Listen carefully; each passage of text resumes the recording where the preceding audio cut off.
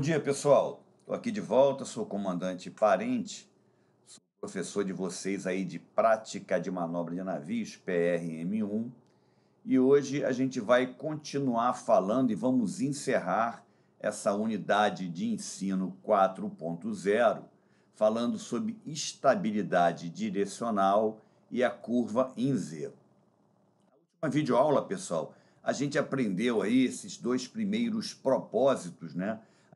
Conceituou o que é, que é uma estabilidade direcional e definimos também a diferença entre navios direcionalmente estáveis e instáveis. A gente viu ali que um navio estável é um navio que tem uma facilidade de governo, que o timoneiro ele desprende menos energia, ele é mais fácil para manter aquele navio navegando num determinado rumo. Já um navio instável é aquele navio nervoso, um navio que guina com facilidade, que altera o rumo, que, que, que, que inicia o movimento do navio ou para o movimento do navio com mais facilidade. A gente chegou até a fazer uma comparação de dois navios com o mesmo comprimento, com a mesma LPP, só que um deles com uma boca maior e o outro com uma boca menor. E a gente viu que o navio com uma boca maior, tipo um navio tanque, um navio cargueiro, vai acabar tendo um grau de estabilidade maior do que o outro navio, que vai ser mais instável, que vai guinar com mais facilidade, tipo uma fragata, um contratorpedeiro, um conteneiro. Então, visto Visto isso, pessoal, a gente vai dar prosseguimento nessa unidade 4.0 e hoje a gente vai apresentar a curva em Z. Na realidade, a gente vai ver pela segunda vez, lá naquela unidade 3, a gente já apresentou essa curva zigue-zague maneuver, zigue-zague ou curva de Kempf, e a gente hoje vai demonstrar rapidamente o seu processo de elaboração e vamos definir alguns elementos, algumas quantidades numéricas importantes que essa curva zigue-zague maneuver nos dá, que é o overshoot, é o tempo, a quantidade de graus que, que esse navio guina sem a, sem a nossa é, autorização, a gente já quer voltar com o navio para outro bordo, e esse navio ainda é, ele desobedece por alguns graus ali, e é o afastamento lateral da nossa derrota. Então a gente hoje vai ver esses dois propósitos e encerrar aí essa unidade 4.0. Eu vou começar apresentando esse pequeno vídeo aí de 24 segundos, que é um, um vídeo feito num simulador, que é uma curva de zigue-zague feito para 20 graus. Se vocês lembram, a gente guina o navio com uma quantidade de leme, no caso aí a gente vai utilizar 20 graus, e quando o, o meu aproamento, ou seja, o meu rumo base, se, se, se muda de 20 graus na mesma quantidade de, greme, de, de leme, eu altero o meu leme para o outro bordo e espero que esse meu aproamento atinja os 20 graus do bordo oposto do meu rumo base. É, esse navio é um navio com dois propulsores e dois lemes, mas para a gente verificar a curva e verificar é, o, o, desenho é, é fácil. Esperar ele carregar aqui. Já carregou. Vamos colocar aqui. Aqui em cima, pessoal, a gente vai ter em amarelo o leme e em azul o meu aproamento. Ou seja, eu estou começando aqui ó, num determinado rumo base. Estou fazendo uma curva de 20 graus. Quando ele atingir 20 graus do meu rumo base, está aqui, ó, eu altero o meu leme. E a mesma coisa acontece lá para o outro bordo. Vamos dar uma olhadinha no filme então.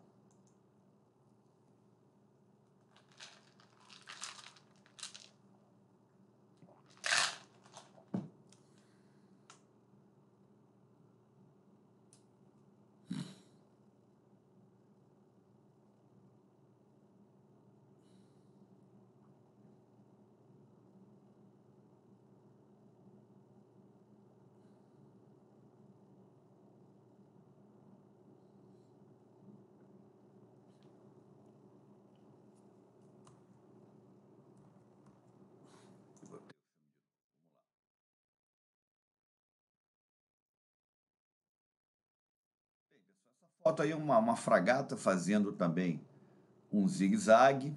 E a gente vai então agora apresentar essa curva em Z, vamos demonstrar aí o seu processo de elaboração. Está ali o nome também que ela é conhecida, Kempf, ou manobra de Z, que ela vai nos fornecer a resposta inicial do nosso navio em relação aos movimentos do leme. É importante que a gente conheça essas características do nosso navio, principalmente em momentos de emergência, que eu tenho que, que safar um obstáculo pela proa, um, um possível ameaça ali de um, de um contato pela proa, então eu preciso saber a resposta inicial do meu navio, ou também saber quanto é que esse navio vai me desobedecer quando eu quebro a minha guinada. Se eu estou fazendo uma mudança de aproamento para um determinado rumo, eu quero saber quantos graus antes eu tenho que começar a me antecipar a fazer é, a minha quebra de guinada para que quando esse meu navio pare de guinar, que ele pare exatamente naquele objetivo que é o meu rumo novo. Então é uma curva importante que vai nos dar aí essa resposta inicial do navio em relação ao movimento do nosso leme, a eficiência do nosso leme. Vamos também estudar nessa, nessa unidade, pessoal, esse overshoot, que é o excesso desse objetivo. Se o meu objetivo é guinar de 000 para 030, o meu objetivo é o 030, e esse overshoot é quanto esse meu navio vai passar desse 030, desse meu objetivo, se somente no 030 eu quebrar a minha guinada.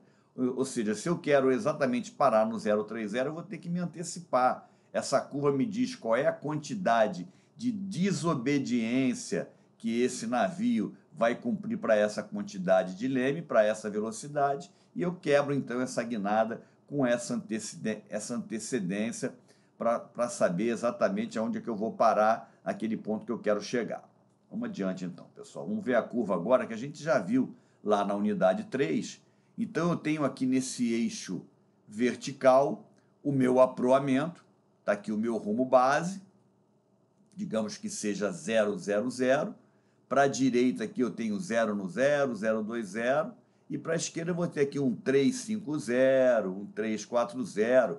Tem alguns lugares que vocês vão ver aqui que é negativo, quando ele guina para bombordo, por exemplo. E aqui é o meu ângulo de leme. Então, é esse eixo vertical aqui, ele vai ter para esta curva, que é tipo trapezoidal aqui, ele vai ser o ângulo de leme para boreste e para bombordo, e, e também para essa curva tipo senoidal vai ser o meu aproamento. Então, eu tenho duas unidades aqui para essas duas curvas. E no eixo horizontal é o eixo do tempo. Vai ser o eixo do tempo à medida que o meu tempo vai, vai passando. Eu sei aqui ó, o tempo de um leme a boreste para todo leme, para 20 graus de leme a bombordo. Ou seja, eu sei aqui o tempo que esse meu navio leva para esta velocidade para inverter o meu leme de leme a boreste 20 graus para leme a bombordo 20 graus. Então vamos adiante. No início, pessoal, eu estou ali naquele ponto vermelho, que eu estou com o meu aproamento, vamos supor que seja 0, 0, 0 e com leme a meio. Então eu vou guinar inicialmente esse meu leme, vou colocar o meu leme a boreste 20 graus. Esse tempo, aí vou voltar aqui, ó. esse tempo que essa esfera vermelha leva para ir daqui do centro até aqui é o tempo que eu levei para carregar o meu leme de leme a meio até a boreste 20 graus. O meu aproamento, que era 000, ele começa a ter uma rate of turn para starboard side, para boreste, e o meu aproamento vai 001, 002, 005, até que ele atinge 020, ou seja, 20 graus de zigue-zague manúvia, quando o meu aproamento vai 20 graus para a direita do meu rumo base, eu inverto o meu leme. Então, nesse ponto aqui, eu invento meu, inverto o meu leme, que estava 20 graus de leme a boreste, jogo ele 20 graus de leme a bombordo. E aqui a gente já vê nesse primeiro yaw angle que a gente vê nesse desenho, foi a quantidade de graus, eu consigo medir isso aqui, que esse navio desobedeceu desde a ordem que eu inverti o meu leme, ele ainda continuou guinando esse tempo para Boreste. E aí o meu, meu leme já atingiu 20 a bombordo, e aí a minha rate vai mudando, o meu aproamento começa a vir para bombordo. Nesse ponto aqui, ó, eu estou com o meu aproamento no meu rumo inicial, que era o 000, o meu leme ainda está carregado para bombordo, e a partir daqui eu começo a levar o meu aproamento para o bordo que eu estou colocando o meu leme. Quando ele atinge aqui, ó, 20 a bombordo do meu rumo base, eu inverto o meu leme pela segunda vez. Vou colocar o meu leme todo a boreste.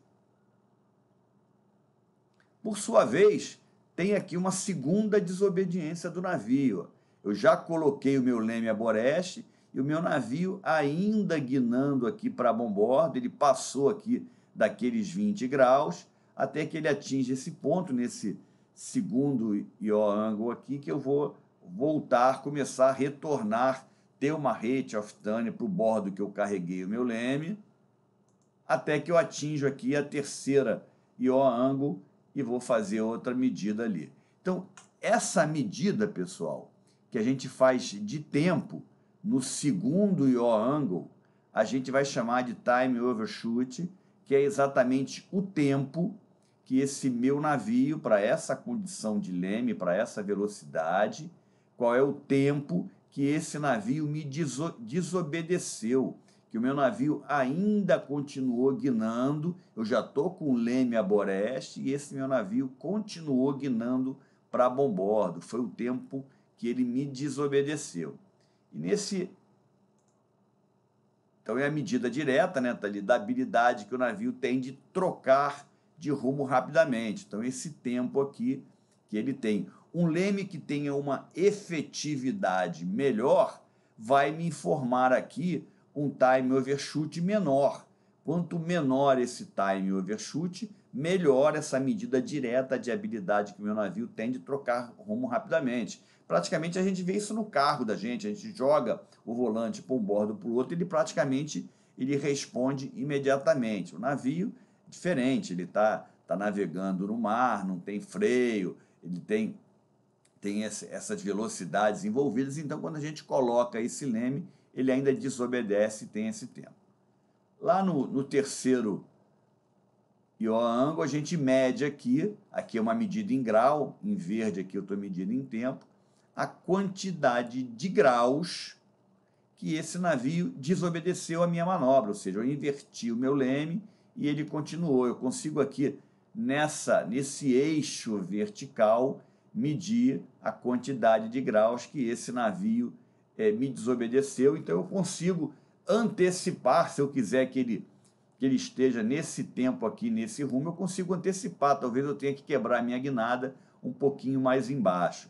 Então é mais uma medida numérica aí que a gente tem, que a gente tira dessa curva de zigue-zague manúvia, que é a quantidade de graus de antecipação ou, ou de desobediência que o navio tem para que o timoneiro, comandante, prático, o piloto, consiga alterar o rumo aí, principalmente em águas rasas. Depois a gente vai fazer uma comparação dessa curva do navio em águas profundas com o navio em águas rasas a gente vai ver que essa curva aí, para a mesma quantidade de leme, para a mesma velocidade, a gente vai ver que o navio vai ter uma curva diferente.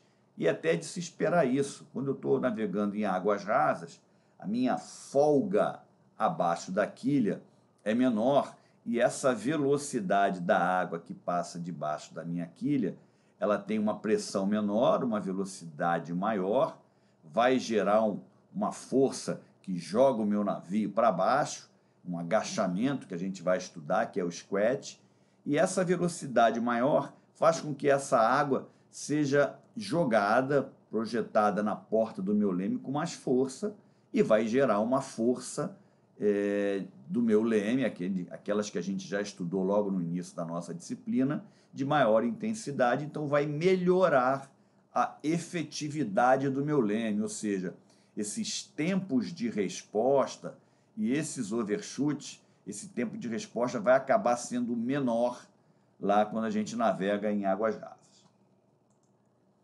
Vamos lá. As principais medidas numéricas quando a gente fala uma curva de zigue-zague manúver são esses três aí, pessoal.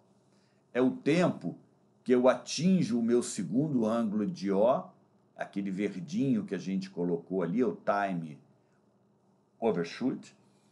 É o overshoot O ângulo que a gente mostrou ali em amarelo, que é a desobediência, ou seja, ou a quantidade de graus que eu tenho que me antecipar na quebra da minha guinada. E esse terceiro, pessoal, é a largura é, lateral, ou seja, quando eu estou navegando ali no meu rumo base e eu começo a fazer esse zigue-zague, é a quantidade de, de distância lateral que eu vou me afastar daquele meu caminho, daquele meu caminho inicial, no meu pet, então são essas três medidas aí que a gente consegue tirar dessa curva overshoot. Desculpa, zigue-zague maneuver. Aqui embaixo, pessoal, tem a nossa referência, é o PNA no seu capítulo 9, na seção 5.1, página 206, que ele mostra aí essas três quantidades numéricas que a gente vai tirar aí dessa nossa curva de Kempf, zigue-zague maneuver.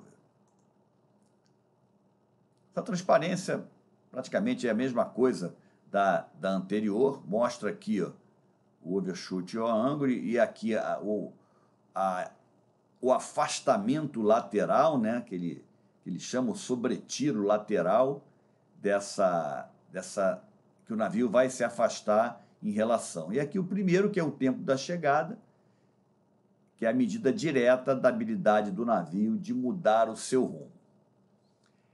Essa transparência, pessoal, a gente tá, mostra aqui essa distância lateral da derrota inicial. Se vocês forem lá na página 5.2, lá de controlabilidade do PNA, vocês vão ver que ele coloca aqui um outro eixo vertical. Nesse outro eixo vertical, ele coloca aqui uma medida em metros, que é o afastamento lateral do meu caminho inicial, da minha derrota inicial. E ele coloca aqui como distância lateral da derrota esse y0 e ele divide pelo comprimento do navio. Dependendo aí da, do comprimento do navio, isso vai mudar. E ele mede aqui, ó, nessa, entre o primeiro IO ângulo e o segundo IO ângulo, nesse tempo, qual é o meu afastamento lateral que esse meu navio vai ter. Para eu saber, para esta velocidade, para essa condição de águas profundas ou águas rasas, para essa quantidade de leme, quanto eu vou me afastar da minha trajetória inicial fazendo uma manobra de zigue-zague manobra. Então tá aí, ó, é o sobrepasso lateral, vamos definir aí, que diminui com o aumento da estabilidade tanto com o aumento da efetividade do leme. Ou seja, quanto melhor a efetividade do meu leme, menor vai ser esse afastamento lateral, esse sobrepasso lateral da minha trajetória, que ele mostra aqui nesse, nesse Y0 sobre L. Mais um filmezinho, pessoal, e nesse filme aí é um filme também é, feito em simulador, que a gente vai conseguir comparar uma curva de zigue-zague maneuver sendo feita em águas profundas e com uma curva de zigue-zague maneuver nas mesmas condições, com a mesma quantidade de leme, com a mesma velocidade, só que em águas rasas. Então a gente vai ver que a efetividade do meu leme será diferente numa curva em águas profundas com uma curva em águas rasas. Se vocês lembram da aula anterior, teve uma transparência que eu mostrei para vocês, tirada lá do Chip Handle for the Marine, que ele colocava ali fatores que influenciam a estabilidade direcional do meu navio. E uma delas era águas rasas, que melhorava a estabilidade direcional do meu navio. Então vamos mostrar aqui para vocês esse filmezinho bem interessante. Vou deixar o filme carregar. A gente vê, ó, em azul, a gente vai ter aqui ó, a quantidade de leme. Ele está fazendo uma curva de zigue-zague maneuver de 10 graus, 10 a boreste, 10 a bombordo. E em vermelho, eu vou ter aqui o meu aproamento, saindo do meu rumo base, até ele chegar aqui a atingir 10 graus aboreste, que foi o bordo que eu carreguei o leme, então eu inverto o meu leme, ele desobedece quando ele chega aqui do outro bordo. E aqui é como o navio está fazendo esse zigue-zague, ele mostra aqui o leme do navio e o caminho percorrido. Olha o afastamento lateral aqui, ó, aquele sobretiro do afastamento lateral que a gente teve aqui. Ele mede exatamente entre a primeira e a segunda, esse afastamento aqui. Então vamos ver esse filmezinho bem interessante, pessoal. E depois ele mostra essa mesma curva e vai sobrepor dessa curva de águas profundas para águas rasas.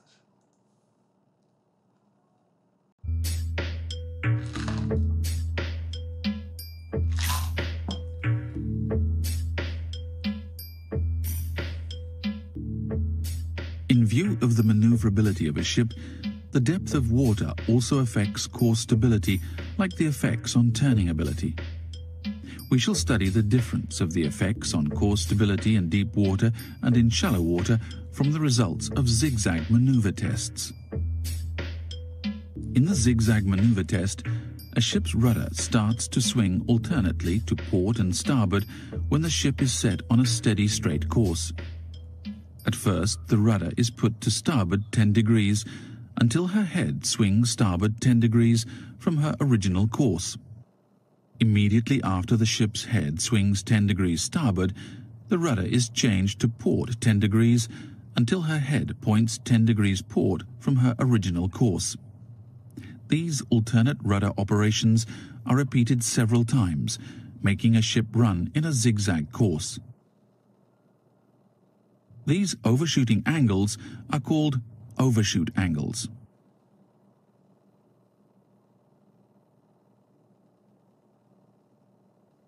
Here you see the results of Z tests conducted in deep and shallow water. As you see, the required time to turn a ship's head port or starboard to a settled angle in shallow water becomes shorter with a smaller overshoot angle than that in deep water. This means that we can expect quicker rudder effect in shallow water compared to that in deep water. Bem interessante, né, pessoal? Ele mostra ali que a efetividade do nosso leme em águas rasas é melhor do que em águas profundas. Depois vocês deem uma olhadinha novamente nesse filme aí, que é bem legal, e comparando ali a zigue-zague maneuver em cima, com o navio embaixo, com o leme, bem legal para a gente ter esse conceito aí. E é um conceito legal da gente saber que em águas rasas a efetividade do meu leme é melhor do que em águas profundas. Que o meu navio em águas rasas vai ter uma estabilidade direcional aumentada. Vamos lá. Conceito aí. Avisa. Deixa eu ver se eu estou no lugar certo aqui, pessoal. Isso, estou no lugar certo, desculpa. Vamos falar agora um pouquinho da visão do engenheiro, pessoal. Nós, marinheiros, a gente olha muito para o navio como um navio estável e navio instável.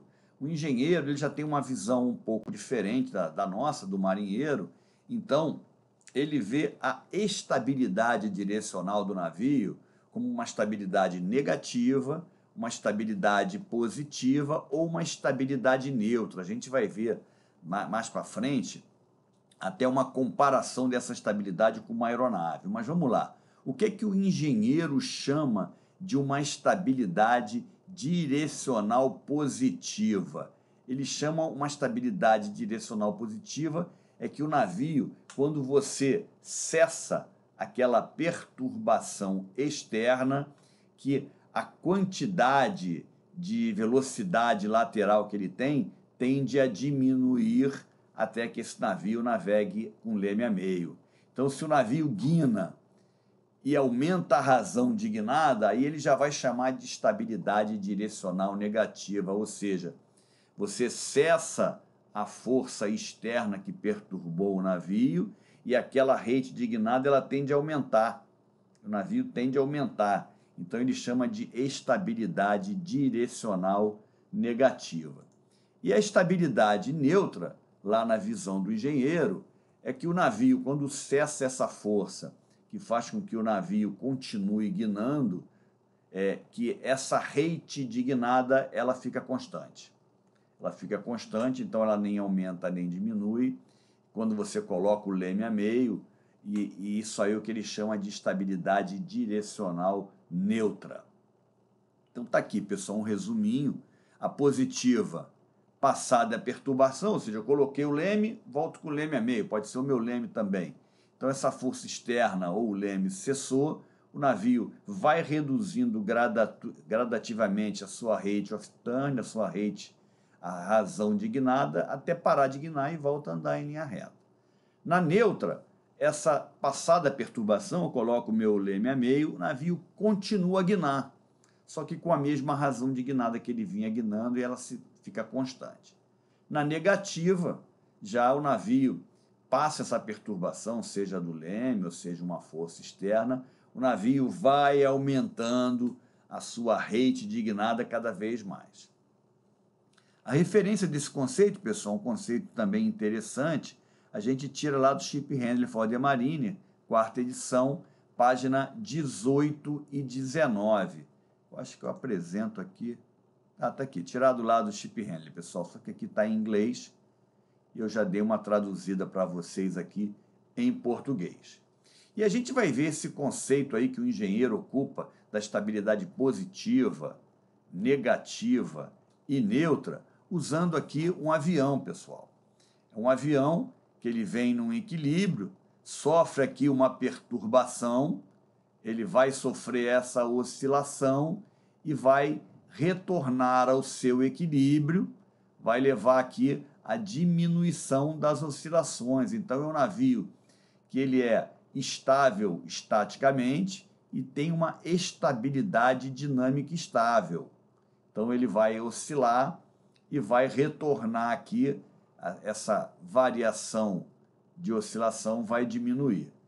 Por outro lado, pessoal, esse mesmo avião, ele sofrendo aí é, oscilações que não diminuem, ou seja, ele vai continuar com as mesmas oscilações que ele sofreu aqui no início. Ele vinha equilibrado, sofreu uma perturbação e ele continua mantendo essa mesma oscilação sem aumentar ou diminuir, que ele chama de estabilidade dinâmica neutra.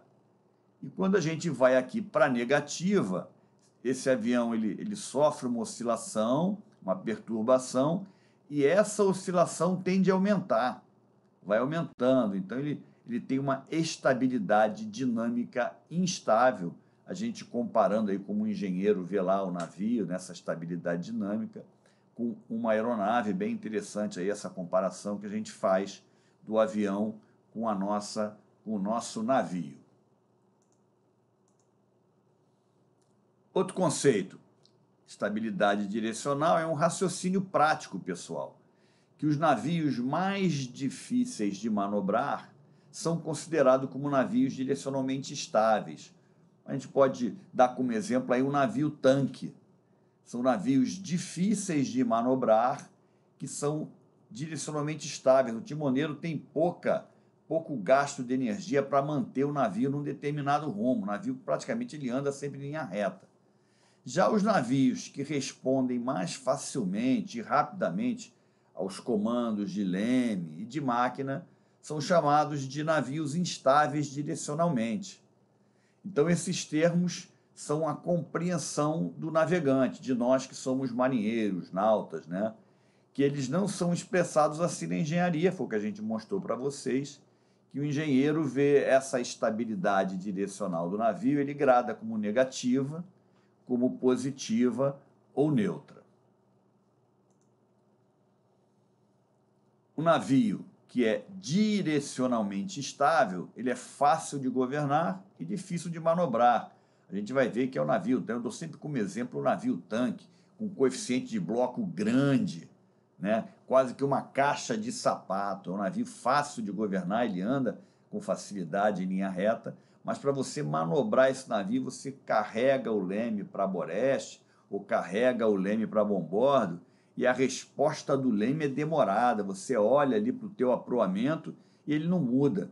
E ele começa indo devagar, 000, 000, 001, 002, lentamente. É claro que depois que ele já começa a guinar lá no futuro, talvez seja até difícil conseguir parar esse navio, mas tirar ele da inércia são navios difíceis de manobrar.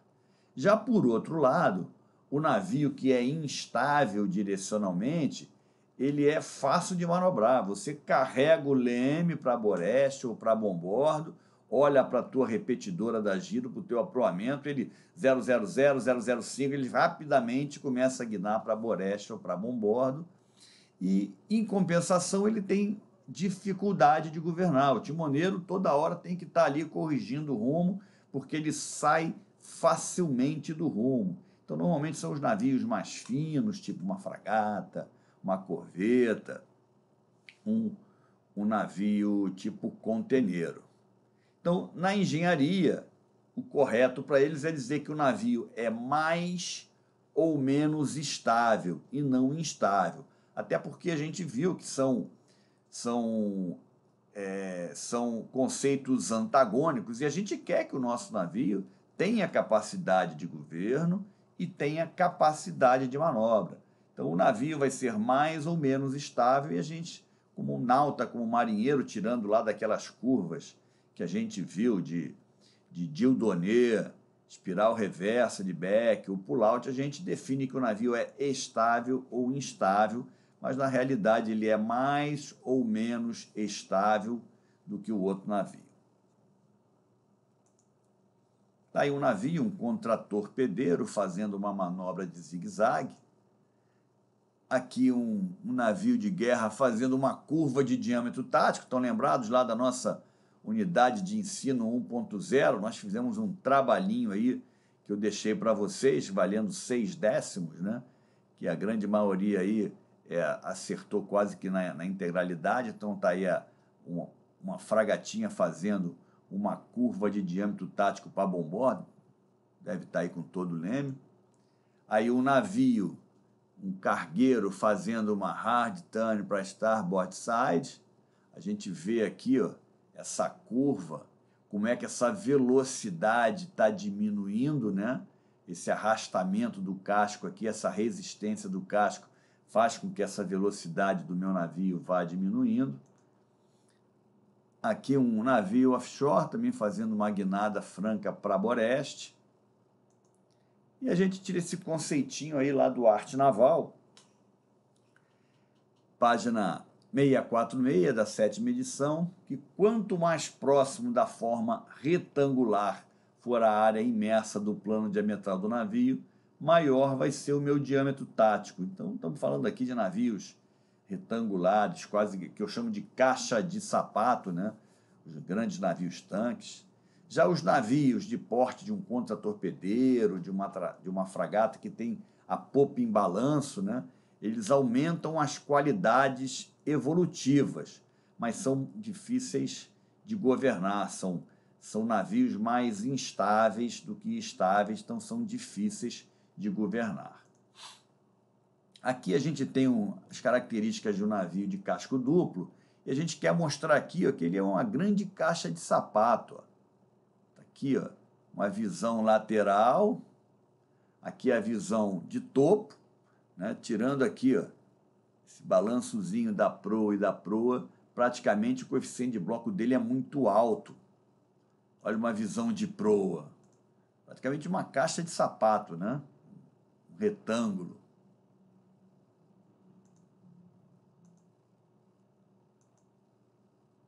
aqui algumas classes de navio também, que a gente vê que, ó, visão de proa, uma seção reta, reta versa, todos eles aí com a linha d'água, o aumento do calado, da superfície molhada, todos eles aqui, ó, também com coeficiente de bloco bastante grande.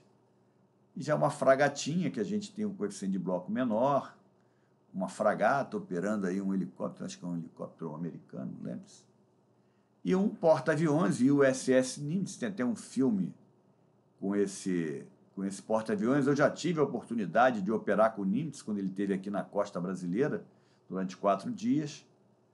Aí as características do navio, um outro porta-aviões que ele também tende a ter aqui um, uma ser bem navios mais estáveis do que uma fragata e um contra-torpedeiro. Então a gente vê aí que ele tem também um coeficiente de bloco bem maior, ele ainda tem uma proa afilada, mas ele também é um navio que tende a ser mais estável do que instável. Então, pessoal, estou fechando aqui essa unidade de ensino 4.0, 35 minutos levou essa nossa videoaula.